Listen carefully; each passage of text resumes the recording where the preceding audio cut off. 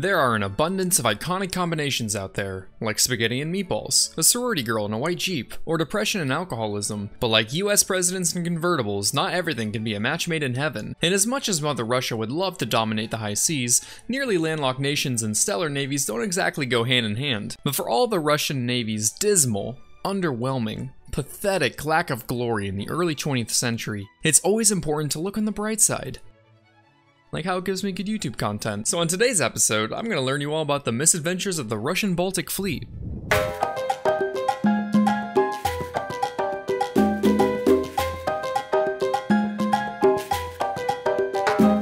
The turn of the 20th century, and what better way to kick off a new era than expansion? Russia is cold, which is great for things like stopping Nazis and badass TikToks, but not ideal for ports. Having your port turn to ice every winter is what those of us more versed in nautical terms would call not very cash money. The Russian Empire notices China has a pretty nifty port with, get this, warm water. However, there's this pesky little thing called a border in the way.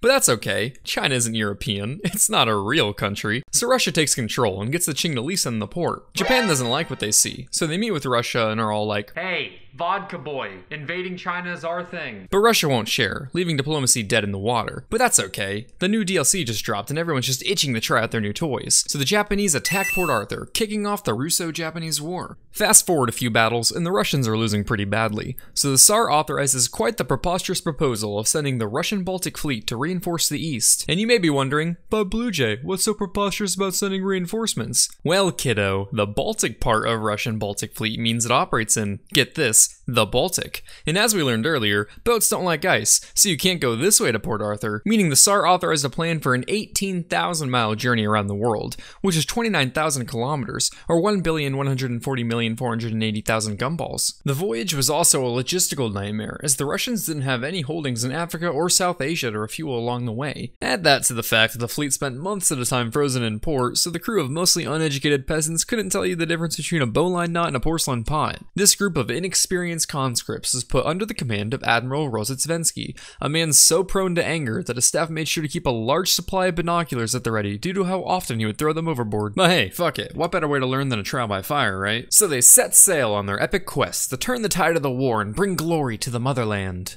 And immediately the flagship runs aground and a cruiser loses its anchor. While they waited for the flagship to refloat, a destroyer forgot friendly fire was on and rammed into a battleship, prompting it to return for repairs. Don't worry men, surely this can't be foreshadowing. As the fleet pushed on, a growing hysteria spread amongst the crew. They were afraid that at any second they'd be ambushed by Japanese torpedo boats. By Denmark. This is where the war is, if you forgot. But the crewmen didn't have time to worry about things as frivolous as logic, so when two fishermen approached the fleet to deliver a message, they opened fire. The two fishermen survived the false alarm without a scratch thanks to the horrible standards of the Russian gunnery. As for their message, they informed Rear Admiral Rozhestvensky that he had been promoted to Vice Admiral. Iron this. This wouldn't be the only false alarm, as later another ship signaled that she was under attack by eight Japanese torpedo boats, only to find out that there were zero Japanese torpedo boats. There, there was just nothing there. Having survived the Baltic, our heroes made their way towards Britain, where they encountered a small group of fishing trawlers at Dogger Bank. But surely by now our skittish sailors have learned their lesson. Ah, ninjas! Streliete! Chaos ensued as the Russians laid down hellfire upon the unsuspecting fishermen. The Russians are going bonkers. Some run around the deck aimlessly waving cutlasses to repel imaginary boarding parties, while others just cuddle up on the deck with life jackets, accepting their demise. Keep it up, men. These Japanese have horrendous aim, Igor. We haven't even taken a hit. But hey, at least this time we made sure they weren't fishermen first. We're shooting at fishermen, aren't we? Definitely a possibility, sir. Well, at least we didn't fire on our own ships, killing a sailor and Russian Orthodox priest.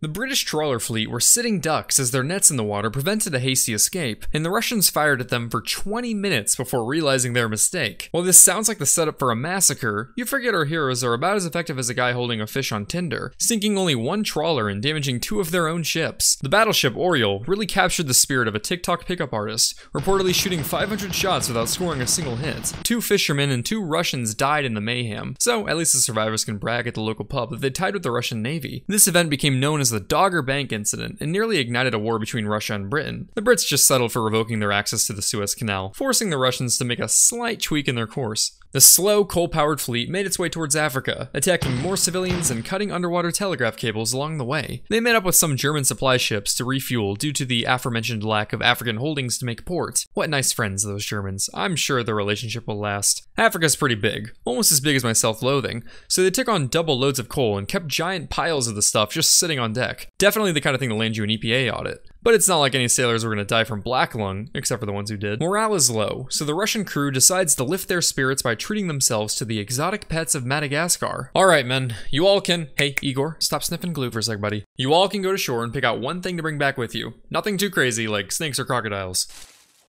Motherfucker. What did I say? Sir, I can explain. Watch it throw back the shot at Tito's. The ship became a floating zoo as the crew brought on a bunch of animals to roam the deck freely, including a crocodile and a venomous snake, which apparently took a liking for vodka. Panic followed shortly when the snake wrapped itself around guns and bit a commanding officer. One sailor gifted the admiral a parrot, which soon took after his rather extensive vocabulary of Russian curses. The flagship soon became overrun with chameleons who would frequently go missing due to their ability to seamlessly camouflage. Hey Igor, have you seen Comrade Camo? I can't find the little guy anywhere. Hmm, no, I don't think so. Have you seen him private? Yeah, I don't think he's seen him either. But a good zoo isn't complete without an underwater exhibit. And luckily for them, the cooling plant on their refrigeration ship broke down, forcing them to dump all their meat into the ocean and giving them a nice following of sharks. At one point, the fleet was holding one of many funerals for a sailor who died of illness. During the ceremony, the Kamchatka fired a gun salute. Excellent work, gentlemen. Hey, say, you boys did make sure to load blanks, right? Yes, sir. Yeah. Igor, you're looking kinda pale there, buddy. After some more shenanigans, like foiling a mutiny and receiving a shipment of fur boots and coats instead of ammo, Admiral Rozhestvensky realized that they were approaching Japan. Ah shit, that's right, I didn't train them. So he decided to run some gunnery practice on a stationary target. Miraculously, our group of misfits managed to score a single hit on the ship towing the target. But hey, potato potato. At long last, the Baltic fleet closes in on Japan, approaching the Tsushima Strait during the night. The fleet extinguishes their lights to maintain stealth, all except for the Orel, which, as a hospital ship, kept them burning in accordance with the rules of war. The Orel comes upon a Japanese ship in the dark. And finally, after an extensive list of false alarms attacking fishermen and merchants alike across half of the high seas, they come across an actual Japanese vessel and determine it to be Russian. So they use their lights to communicate with it.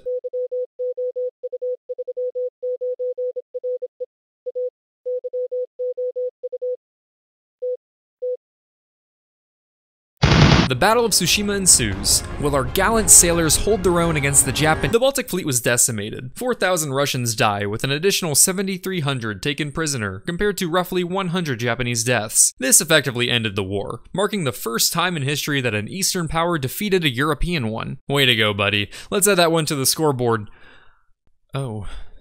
Oh dear. So, in conclusion, the Russian Baltic Fleet's odyssey around the world is a tale full of shenanigans and blunders, with our troublemaking peasant crew racking up quite the body count of innocent civilians and friendlies before seeing an actual enemy. And yes, while they may have attacked ships from practically every global power, disabled cities' communication grids, killed fellow sailors with gross negligence of safety practices, nearly ignited a major European war, and were about as accurate as Helen Keller playing laser tag, they also taught a snake to drink vodka, 9 out of 10 stars.